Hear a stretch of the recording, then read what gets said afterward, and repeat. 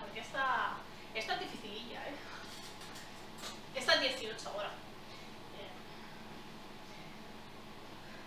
Y también tiene cambios así raros de una plataforma a otra.